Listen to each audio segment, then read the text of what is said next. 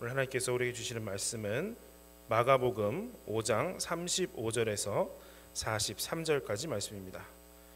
마가복음 5장 35절에서 43절까지 말씀 제가 가진 성경 신약 61쪽쯤 되겠습니다.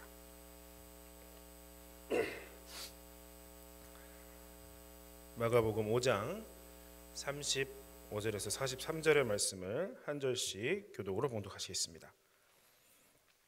아직 예수께서 말씀하실 때에 회당장의 집에서 사람들이 와서 회당장에게 이르되 당신의 딸이 죽었나이다 어찌하여 선생을 더 괴롭게 하나이까 예수께서 그 하는 말을 곁에서 들으시고 회당장에게 이르시되 두려워하지 말고 믿기만 하라 하시고 베드로와 야고보와 야고보의 형제 요한 외에 아무도 따라옴을 허락하지 아니하시고 집에 함께 가사 떠드는 것과 사람들이 울며 심히 통곡함을 보시고 들어가서 그들에게 이르시되 너희가 어찌하여 떠들며 우느냐? 이 아이가 죽은 것이 아니라 잔다 하시니. 그들이 비웃더라. 예수께서 그들을 다 보내신 후에 아이의 부모와 또 자기와 함께한 자들을 데리시고 아이 있는 곳에 들어가사 그 아이의 손을 잡고 이르시되 달리다 굼 하시니 번역하면 곧 내가 네게 말하노니 소녀야 일어나라 하심이라 소녀가 곧 일어나서 걸으니 나이가 열두 살이라 사람들이 곧 크게 놀라고 놀라거늘 함께 묵독합니다. 예수께서 이 일을 아무도 알지 못하게 하라고 그들을 많이 경계하시고 이에 소녀에게 먹을 것을 주라 하시니라. 아멘. 우리 함께 믿음의 고백을 드리겠습니다. 하나님 좋습니다. 감사합니다. 사랑합니다. 하나님이 하시면 무엇이든지 다 이루어집니다. 하나님 좋습니다. 감사합니다. 사랑합니다. 하나님이 하시면 무엇이든지 다 이루어집니다. 하나님 좋습니다. 감사합니다. 사랑합니다. 하나님이 하시면 무엇이든지 다 이루어집니다. 아멘. 하나님께 영광의 목소리 드리겠습니다. 아멘. 할렐루야. 아멘. 네. 먼저 어, 옆에 오신 분들과 함께 인사하겠습니다. 잘 오셨습니다. 잘 오셨습니다. 함께 은혜 받읍시다. 함께 은혜 받읍시다. 네, 감사합니다. 어, 오늘도 예배 가운데 나오신 여러분들을 주님의 이름으로 환영합니다. 오늘 하나님께서 또한 주시는 말씀 가운데에 여러분들 어, 은혜 받으시고 힘을 얻으시는 귀한 시간 되시기를 먼저 축원합니다. 어, 오늘 우리가 읽은 이 말씀을 앞부분을 먼저 잠깐 좀 생각을 어, 살펴보면요. 어, 회당장 야이로는 이 예수님을 자신의 집으로 모시고 가는 길이었습니다. 여러분들 많이 들으셔서 아시는 이야기시겠지만 이렇게 모시고 예수님과 함께 가고 있었습니다. 야이로가 예수님을 자기 집으로 모시는 이유는 평소 아 내가 예수님을 너무 존경해 예수님 한번 집에 모시고 식사 대접해야겠다 이런 것이 아니었습니다. 야이로에게는 12살 된 딸이 있었는데요. 그 딸아이가 갑작스레 아프기 시작하더니 급기야 아, 사경을 헤매고 있는 겁니다. 야이로는 회당장이기 때문에 이 마을에서 나름 영향력이 있는 사람이었습니다. 마을에서 유명한 의사들 당연히 불렀죠. 그래서 어, 딸을 치료하였지만 차도가 없었습니다. 마지막이라는 심정으로 많은 사람들이 어, 많은 사람들을 고쳐 주신다던 그 예수님을 자기 집으로 지금 모시고 가는 것이었습니다. 어, 이제 우여곡절 끝에 예수님을 만나서 예수님을 모시고 갑니다. 이제는 빨리 예수님을 자기 집으로 모셔가지고 이 아픈 딸아이를 보여주기만 하면 될 것 같습니다. 그런데 지금 상황은요, 수많은 무리가 서 있습니다. 길을 막고 서 있는 거예요. 따라오고 있습니다. 그래서 길거리에서 예수님을 보려고 몰려들어 가지고 앞으로 한 걸음 한 걸음 나가기가 어렵습니다. 그래도 이 무리를 뚫고 자기 집으로 빨리빨리 가야 됩니다. 사람들을 향해서 외치면서 길 좀 비키라고 앞으로 좀 가자고 하면서 그렇게 가고 있는데 갑자기 어, 뒤에서 또 소란이 일어났습니다. 예수님께서 자기의 옷을 만진 사람이 있다고 하시면서 누군지 찾아오라고 하시는 겁니다. 제자들도 예수님께 상황을 말씀드렸지만 예수님은 가시던 발걸음을 딱 멈추시고 음, 더 이상 움직이시지 않으셨습니다. 야이로 입장에서 보면 얼마나 이게 황당한 일입니까? 극과 옷이 얼마나 중요하다고 이렇게 하시는 걸까요? 야이로는 예수님이 자기의 딸만 고쳐 주신다고 하면 지금 입으신 것보다 더 좋은 옷으로 충분히 해드릴 수가 있다. 그렇게 말하고 싶었을 것입니다. 그러나 예수님은 움직이지 않고 그 자리에 딱 서 계셨고요. 그렇게 한참 예수님께서 사람들을 둘러보시면서 계속 말씀을 하시니까 어, 한 여인이 진짜로 나타나는 겁니다.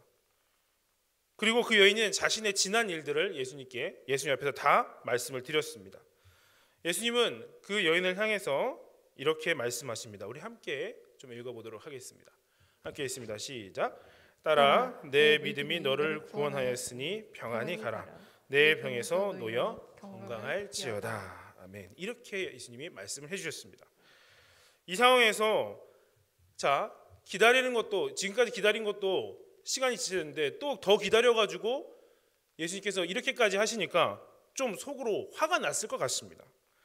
이 여인에게 내 믿음이 너를 구원하였으니 평안히 가라 하신 말씀도 야이로 입장에서는 지금 이해가 되지 않는 말씀입니다. 도대체 믿음이 무엇이고 이 여인은 평안할지 모르겠지만 지금 야이로의 마음은 어떻습니까? 평안하지가 않은 것입니다. 지금 한시가 바삐 빨리빨리 가야 되는데 한가롭게 이렇게 여인과 말씀하고 계시는 예수님이 이해가 되지 않았을 것입니다. 예수님이 이 여인에게 말씀하실 때 어, 그래서 야이로의 마음이 매우 심란하고 불편하던 그 순간에 자기 집에서 이제 몇 사람들이 온, 오, 도착을 한 것입니다. 달려왔습니다. 그러고 말을 하는 거예요. 당신의 딸이 죽었습니다. 어찌하여 선생을 더 괴롭게 하나이까? 이 말은 지금 당신의 딸이 이미 죽었습니다. 이제 이 예수 선생님을 더 이상 괴롭힐 이유가 괴롭게 할 이유가 무엇이 있습니까? 그만 돌아가라고 하시고 빨리 집에 가서 이제 장례 하셔야 됩니다. 이런 뜻입니다. 날벼락 같은 소리를 듣고 말았습니다. 예수님을 그렇게 힘들게 찾아다녀서 예수님을 만나고 기다려서 집으로 모시고 가던 중이었는데 예수님만 집까지 어떻게든 모시고 가면은 문제가 해결될 것 같았는데 딸이 살 수 있을 것 같았는데 모든 것이 허사가 된 것입니다. 아마 그 순간 야이로의 두 다리에 다리가 힘이 쭉 풀려서 주저앉고 싶었을 것입니다. 머리로는 지금 딸의 죽음의 소식을 들었지만 마음으로는 아니야 그렇지 않을 거야라는 그러한 마음도 있었을 것입니다. 아 조금만 더 빨리 집에 갔으면 좋았을 것을. 저 사람이 뭐라고 이렇게 여기서 시간을 허비해서 내 딸이 죽어야만 했는가?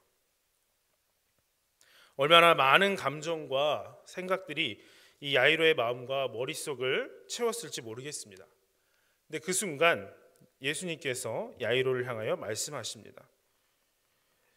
예수께서 그 하시는 말을 어, 예수께서 뭐라고 하시냐면 두려워하지 말고 믿기만 하라라고 말씀을 하시는 겁니다. 야이로는 지금의 상황이 아직 마음에서 정리가 되지 않고 있습니다. 혈루병을 앓았다던 여인과의 일로 인해서 시간은 점점 지체되었었고 마음은 초조하고 답답했는데 집에서 사람들이 와서 지금 딸이 죽었다는 소식을 전해줬습니다. 딸의, 딸의 죽음을 현실로 받아들이지도 못한 채 기가 막혀 하고 있는데 그 여인과 함께 있던 예수님께서 어느새 자기 옆에 오셔가지고 하시는 말씀이 어, 그 딸아이의 죽음의 소식을 들으셨는지 두려워하지 말고 믿기만 하라라고 말씀을 주시는데 도대체 이 상황이 지금 뭐가 뭔지 이해도 되지 않는 것입니다. 근데 36절에서 예수님께서 이 장면에서 정확하게 보면 이렇게 말씀하십니다. 우리 같이 한번 보겠습니다. 36절 말씀입니다. 시작. 예수께서 그 하는 말을 곁에서 들으시고 회당장에게 이르시되 두려워하지 말고 믿기만 하라 하시고 아멘. 자, 예수님께서 그 하는 말을 옆에서 들으셨다는 겁니다. 여기에서 곁에서 듣다라는 헬라어를 어, 사용하는 방법이 또 지나가다 듣다라는 뜻이 있고 또 모르는 척하다라고 번역할 수도 있습니다. 오늘 말씀에서는 문맥상 지나가다가 들으셨다라는 의미로 사용됩니다. 하지만 내용상의 뉘앙스로는 그냥 모른 척 하셨다라고 번역해도 문제가 없을 것 같습니다. 왜냐하면 예수님께서는 이 야이로에게 딸의 죽음을 알린 사람들의 말을 받아들이지 않고 오히려 야이로에게 격려를 하셨습니다. 하지만 정말 딸의 죽음이 사실임을 야이로가 알게 된다면 예수님의 말씀은 격려해 주시는 게 아니라 그저 허풍으로 되기 때문입니다. 자, 그런데 성경에서는 도저히 믿을 수가 없는 그러한 상황에서도 믿음을 요구하시는 하나님을 성경에서 발견할 수 있게 됩니다. 창세기 18장에 보시면 99세가 어, 된 아브라함과 늙은 사라에게 하나님께서 내가 아들을 낳을 것이다 라고 말씀을 주십니다. 솔직히 아브라함의 입장에서는 여태까지도 안 주셨는데 좀 이런 표현은 좀 어이없다라고 생각했을 수도 있습니다. 불가능하다라고 생각이 되는 것이죠. 살아도 마찬가지로 그것은 불가능하다라고 생각을 했습니다. 그러나 하나님은 이렇게 말씀하십니다. 우리 14절 어, 말씀인데 함께 봉독합니다. 시작. 여호와께 능하지 못한 일이 있겠느냐 기한이 이를 때에 내가 내게로 돌아오리니 사라에게 아들이 있으리라. 아멘. 이렇게 하나님께서 말씀을 주시면서 믿음을 요구하셨습니다. 성경에는 도저히 믿을 수 없는 상황에서도 우리에게 믿음을 요구하신다고 말씀하고 있습니다. 오늘 말씀에서 예수님께서도 야이로를 향하여서 이러한 믿음을 요구하셨습니다. 야이로는 정말 너무 놀라고 힘이 빠져서 풀렸던 다리에 다시 힘을 주고 일어나서 집을 향하여 걸음을 옮깁니다. 예수님은 이제 일행을 나눠 가지고 몇몇 사람들만 함께 해서 빨리 그 집을 향하여 가십니다. 일행을 줄이니까 정말 속도가 더 빨라져서 이제 어, 빨리 도착할 수가 있었습니다. 하지만 집에 도착해 보니 모습이 어떻습니까? 야이로가 다시 한번 마음이 무너지게 됩니다. 자, 유대인의 풍습을 여러분들 들어보셔서 아시겠지만 초상이 난 집에는 돈을 주고 사람을 사서 피리도 불게 하고요. 또 대신 울어주는 사람을 고용합니다. 막 곡소리를 하고 있는 거죠. 야이로와 예수님이 집에 도착을 해 보니까 벌써 사람들이 음악을 연주하고 있었고 대신 울어주는 사람들이 와서 울고 있었습니다. 이것은 야이로의 딸이 금방 좀 전에 죽은 것이 아니라 죽은 지 벌써 시간이 좀 지났다는 것입니다. 야이로는 이제 정말로 알았을 겁니다. 내가 예수님을 찾아서 이 갈리 주변을 헤매고 있을 때 이미 내 딸은 죽었구나. 근데 예수님은 야이로의 딸이 죽지 않았고 잔다라고 하시면서 집안에 있던 사람들을 다 내쫓으십니다. 예수님이 내쫓은 사람들은 가족이 아닌 돈을 받고 이 초상 분위기를 유지시켜주는 그러한 사람들이었고 또 조문을 위해서 방문했던 사람들이었습니다. 다 나가라. 자리를 비워라 하십니다. 내쫓긴 사람들은 나가면서 예수님을 비웃습니다. 장례를 집전하다가 내쫓긴 사람들은 솔직히 이 지금 이러한 장례 문화에 대해서는 전문가들입니다. 너무 잘 알고 있습니다. 사람이 죽었는지 안 죽었는지 너무 잘 아는 사람들입니다. 자신들이 볼 때 이미 벌써 죽어 있는 사람을 죽지 않았다고 하면서 그것도 잔다고 우기고 있는 이 예수님을 예수라는 사람의 말이 이 사람들 입장에서는 참 어이가 없다. 기가 막힌다. 이렇게 생각됐을 겁니다. 야이로는 자신 있게 그러면서도 허풍이 아닌 위험 있게 사람들을 내보내시고 또 자신과 아내를 자신의 딸아이가 있는 그 방으로 인도하시는 예수님을 주의 깊게 바라보았습니다. 사실 성경에서 야이로가 어, 이 시점 이전까지 예수님의 제자였다라는 것을 암시하는 말씀은 없습니다. 예수님이 등장했을 때에는요, 유대교로 불리는 종교에서는 갑자기 예수라는 사람이 튀어나왔을 때 너무나도 불편한 사람이었습니다. 신경 쓰이는 사람이었습니다. 마치 자신이 메시아라도 된 것처럼 사람들을 다루는 것이 보통이 아니었습니다.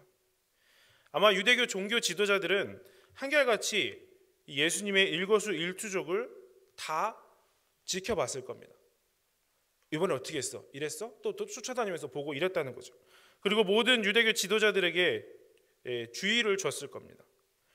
따라서 회당장이었던 야이로 역시도 예수님에 대해서 잘 알고는 있었겠지만 그것이 알고 있다고 해서 예수님을 향한 믿음이 있었다라고는 할 수가 없다는 것입니다. 다만 야이로가 예수님을 애타게 찾았다는 것은 자신의 딸을 살리고자 하는 개인적인 간절함이 있었기 때문입니다. 이때까지 그에게는 믿음이 없었습니다. 하지만 이 자리에 오기까지 예수님은 계속 믿음에 대해서 말씀을 하셨습니다. 혈루병에서 고침을 받은 여인에게도 말씀하실 때 내 믿음이 너를 구원하였다고 하셨고요. 낭망하고 자실한 좌절한 자신에게도 두려워하지 말고 믿기만 하라라고 말씀 주셨습니다. 여러분 과연 믿음이 무엇일까요? 예수님은 번민하는 이 야이로를 두고 야이로의 딸이 누워 있는 그곳으로 예수님께서 다가가셨습니다. 그리고 그 아이의 손을 잡고 아람어 방언으로 말씀하십니다. 달리다 굼. 이 말의 뜻은 내가 내게 말하노니 소녀야 일어나라입니다. 그러자 그 소녀가 눈을 뜨고 일어났습니다. 여러분, 야이로는 과연 지금 믿음이 있었을까요? 만약 믿음이 있었다면 무엇에 대한 믿음이었을까요? 이 본문의 내용으로는 야이로에게 우리가 흔히 말하는 우리가 믿음이라고 말하는 그 믿음이 있었는지에 대해선 확실히 알 수가 없습니다. 아마도 야이로는 예수 그리스도에 대한 믿음이 그 믿음이 있지는 않았을 것 같습니다. 오히려 야이로는 계속해서 이게 될까? 괜찮을까라는 의구심을 가졌을 것입니다. 야이로는 앞서 만나게 된 그 혈리병을 가진 여인과 어, 그 이런 점, 이 점에서 대비되는 모습을 보여줍니다. 예수님께서 혈류병 여인에게 뭐라고 하셨습니까? 내 믿음이 너를 구원하였다라고 말씀하셨습니다. 예수님께서는 이 여인에게서는 바로 믿음을 발견하셨던 겁니다.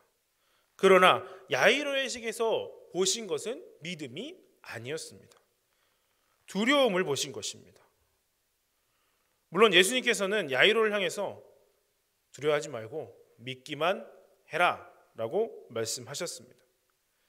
그렇다고 야이로가 믿으라고 하셨으니까 나는 이제 막 믿을 수 있을 것 같다. 이것은 아니, 아니었습니다. 야이로의 이야기 속에는 그런 믿음의 고백이나 어, 믿음 없음의 고백도 없습니다. 한마디로 말씀드리면 야이로의 지금 이 이야기는 전적인 하나님의 은혜라는 것입니다. 다만 마가복음의 구조를 살펴볼 때 이 야이로의 이야기가 주는 메시지는 이것입니다. 아직도 예수 그리스도를 의심하는 그 사람들을 향하여서 더 이상 의심하지 말고 더 이상 두려워하지 말고 믿으라는 믿음에 대한 이야기라는 것입니다. 우리는 오늘 오늘 본문과 바로 앞과 본문은 야이로의 야이로와 혈루병에서 고침을 받은 여인에 대해서 이 앞뒤에서 그렇게 말씀을 어, 전하고 있습니다. 그런데 여기서 바로 어, 공통점을 한 가지 우리가 발견할 수 있는데요. 그것은 무엇이냐면 바로 열둘이라는 숫자입니다. 25절에서 혈루병을 앓았던 여인을 소개할 때 이 여인은 12해 동안 혈루병을 앓았다고 말씀하고 있습니다. 그리고 야이로의 딸을 살리셨을 때 마가는 42절 말씀을 통해서 아이에 대해서 소개하는데 이 아이가 12살이었다라고 말씀하고 있습니다. 이것은 우연히 이렇게 된 것이 아니고 의도가 있는 것입니다. 성경에서 12라는 숫자는 통상적으로 하나님의 백성을 뜻하는 숫자입니다. 이것은 야곱의 12명의 아들들을 시작으로 해서 12 지파가 돼서 항상 하나님의 백성을 뜻하는 그러한 뜻이었다는 겁니다. 그리고 예수님께서는 이제 열두 지파를 대신하여서 열두 제자를 세우시고 파송하셔서 교회를 맡기셨습니다. 따라서 10이라는 숫자는 상징적으로 더 큰 의미를 포함하게 됩니다. 자신의 믿음으로 혈루병을 고침받은 사람도 하나님의 백성이었고 아직 확고한 믿음이 없이 의심하고 있는 이 야이로 역시도 하나님의 백성이라는 사실입니다. 예수님이 만난 사람은 야이로였지만 예수님께서 말씀하시고자 하는 대상은 바로 아직도 마음속으로 예수 그리스도를 의심하면서 전적으로 믿음으로 서지 못한 하나님의 백성이었습니다. 세상 사람들은 우리를 향해서 이렇게 외칩니다. 너의 딸은 이미 죽었다. 라고 말입니다. 그러나 예수님께서는 우리에게 이렇게 외치십니다. 세상 사람들이 너에게 하는 말로 인해서 두려워하지 말고 나 예수를 믿기만 해라. 라는 것입니다. 예수님의 이 말씀은 우리를 향한 예수님의 간절한 말씀입니다. 성도 여러분, 여러분에게는 예수님이 요구하셨던 그 믿음이 있으십니까? 때로는 지성을 뛰어넘어야 하는 믿음을 우리에게 요구할 때도 있을지도 모릅니다. 때로는, 때로는 우리의 머리와 마음에 있는 그 의구심을 버리고 그 믿음을 요구하실지도 모릅니다. 예수님이 말씀하신 믿음에 대한 요구는 혈루병을 앓았던 여인과 야이로에게만 국한된 것이 결코 아닙니다. 우리 모두를 향한 예수 그리스도의 거룩한 요구이시라는 겁니다. 많은 사람들, 즉 예수 그리스도를 믿는 자와 믿지 않는 자 모두를 통틀어서 많은 사람들은 대부분 행운을 기대합니다. 마치 경품 추첨에서 1등상을 받을 사람은 한 명인데도 불구하고 모두가 그것이 내 것이 되기를 내가 그렇게 되기를 바라는 것처럼 수많은 사람들은 속에서 어, 수많은 사람들 속에서 나 자신에게만 특별한 행운이 있기를 기대한다는 것입니다. 그런데 예수 그리스도를 믿는 사람들도 이러한 행운을 기대하면서 살아가고 있다는 겁니다. 혈루증을 앓았던 여인이 고침 받았던 것을 아 행운이야 라고 생각하고요. 죽은 딸이 살아난 야이로를 정말 놀라운 기적과 야이로는 행운이야 라고 생각한다는 겁니다. 그러고 나서 나도 그러한 행운이 있었으면 좋겠다 라고 생각합니다. 그러나 우리가 반드시 기억해야 할 것은요. 하나님은 우리에게 행운을 주시는 분이 아니시라는 겁니다. 예수 그리스도를 만난 사람들은 행운아가 아닙니다. 예수님을 믿으며 자신의 삶 속에서 행운만 가득할 것이라고 생각하시면 그것은 안 된다는 겁니다. 우리 그리스도인은 기적과 같은 행운을 기다리는 사람들이 결코 아닙니다. 그렇다고 이 성경에 기록되어 있는 놀라운 일들, 그러한 뭐 오병이어의 사건, 예수님이 무리를 걸으신 사건, 나사로를 살리신 사건들을 비롯하여 그런 것들이 거짓은 아니라는 겁니다. 그러나 분명한 사실은 우리가 그런 일들만을 그런 것만을 기대해서는 안 된다는 것이죠. 이러한 기적들이 날마다 우리의 삶 속에서 나타나진 않습니다. 이것은 그것만 기대한다는 것은 잘못되었다는 것입니다. 사도 바울의 말씀을 우리가 함께 봤으면 좋겠습니다. 빌립보서 4장 10절에서 14절의 말씀을 우리 함께 한 목소리로 봉독하시겠습니다. 내가 주 안에서 기뻐 기뻐함은 너희가 나를 생각하던 것이 이제 싹이 남이니 너희가 또한 이를 위하여 생각은 하였으나 기회가 없었느니라. 내가 궁핍함으로 말하는 것이 아니라 어떠한 형편에든지 나는 자족하기를 배웠노니 나는 비천에 처할 줄도 알고 풍부에 처할 줄도 알아. 모든 일 곧 배부름과 배고픔과 풍부와 궁핍에도 처할 줄 아는 일체의 비결을 배웠노라 내게 능력 주시는 자 안에서 내가 모든 것을 할 수 있느니라 그러나, 그러나 네. 여기까지 합니다. 그러나 너희가 내 괴로움과 함께 참여하였으니 잘하였도다. 아멘. 13절에서 마치면 참 좋죠. 네. 자, 13절 말씀을 다시 한번 좀 띄워놔 주시겠습니까? 13절입니다. 네. 좋아하시니까. 네. 어, 한국 교회 많은 성도들이 좋아하시는 말씀이 아마 이 구절이실 것 같습니다. 좋아하십니까? 저도 좋아합니다. 네. 어, 하지만 사도 바울의 의도와는 매우 다르게 해석하고 좋아하고 있다는 것입니다. 사도 바울이 고백한 내가 모든 것을 할 수 있다는 그 의미가 무엇일까요? 사도 바울은 자신의 사역을 위해서 변함없이 도움을 주었던 그 빌립보 교회를 향하여서 이렇게 말합니다. 자신의 형편은 지금 궁핍한 상황이지만은 궁핍하기 때문에 빌립보 교회에게 지금 그래서 말하는 게 아니라는 겁니다. 이미 사도 바울은 복음 사역을 감당하면서 어떠한 상황에서도 스스로 만족할 수 있는 즉 자족할 수 있는 비결을 배웠다고 합니다. 이것은 자신에게서 나오는 것이 아니라 자신에게 능력을 주시는 예수 그리스도 안에서 모든 것이 가능하다는 것입니다. 그리고 이 괴로움에 지금 빌립보 교회가 동참한 것 잘하였다 칭찬해 주고 있는 것입니다. 여러분 하나님을 믿으면 행운이 여러분에게 찾아올 것이라고 생각하십니까? 예수 그리스도를 믿으면 여러분의 인생이 반짝하고 더욱 빛날 것이라고 생각하십니까? 예수 그리스도를 믿으면 혈루병이 낫고 죽은 사람이 살아난 일들이 여러분에게도 마구마구 일어날 것이라고 생각하십니까? 사도 바울은 믿음의 본질은 그것이 아니라고 말씀합니다. 이것은 예수님의 말씀과도 같습니다. 오늘 말씀을 정리하겠습니다. 믿음의 본질은 축복이나 행운이 절대 아니라는 것입니다. 믿음의 본질은 예수 그리스도 안에 있다는 겁니다. 그래서 예수 그리스도 안에서 스스로 만족할 수 있는 것입니다. 이 만족은 그저 현실에 수능해서 그 안에서 만족해라 라고 드리는 말씀이 아닙니다. 이 만족은 하나님의 섭리를 믿기 때문에 누릴 수 있는 평안함이라는 것입니다. 이 만족은 나보다 나 자신보다 하나님을 사랑하되 마가복음 12장 30절의 말씀처럼 우리 함께 읽어봤으면 좋겠습니다. 함께 번독합니다. 시작. 내 마음을 다하고 목숨을 다하고 뜻을 다하고 힘을 다하여 주 너의 하나님을 사랑하라 하신 것이요. 아멘. 이 말씀대로 사는 것입니다.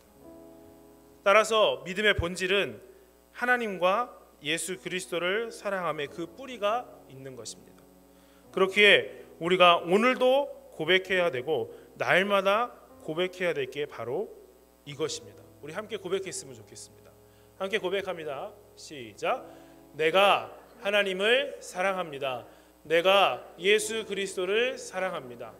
예수님이 요구하시는 믿음의 삶을 살기 원합니다. 우리 한 번 더 고백할까요? 내가 하나님을 사랑합니다. 내가 예수 그리스도를 사랑합니다. 예수님이 요구하시는 믿음의 삶을 살기 원합니다. 아멘. 야이로의 믿음과 상관없이 예수님께서는 그 딸을 살려 주셨습니다. 이것은 당신의 백성을 끝까지 사랑하시는 하나님의 마음을 보여주신 사건입니다. 여기에서 우리에게 요구되는 것은 단 한 가지입니다. 바로 내 마음을 다하고 목숨을 다하고 뜻을 다하고 힘을 다하여 주 너의 하나님을 사랑하라는 것입니다. 여러분 오늘 주시는 이 말씀을 여러분들 마음속에 다시 한번 새기시기를 부탁드립니다. 그래서 믿음의 본질에 우뚝 서셔서 하나님만 예수님만 사랑하시는 여러분이 되시고 또한 다가오는 2023년에는 더욱 주님께서 기뻐하시는 믿음의 사람들로 다들 살아가실 수 있기를 주님의 이름으로 간절히 축원합니다. 이 마음을 담아서 우리 함께 찬양하시겠습니다. 주를 향한 나의 사랑을 함께 찬양하겠습니다.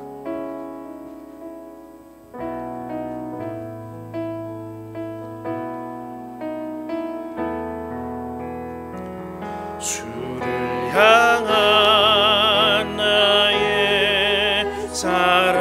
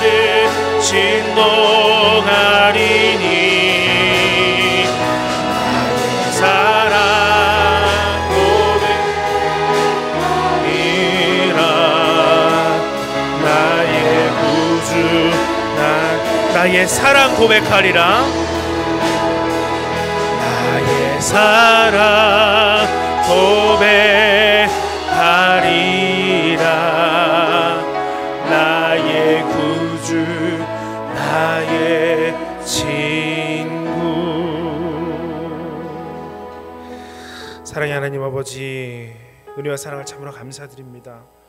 오늘도 우리를 주님의 전으로 우리의 발걸음을 인도하시고 주님의 말씀을 듣게 해주심에 참으로 감사드립니다. 이 시간 먼저 우리가 올바른 믿음을 가질 수 있기를 소원합니다. 주님께서는 믿으라고 말씀하시는데 우리가 온전한 믿음을 갖지 못하고 의심하고 두려워하였습니다.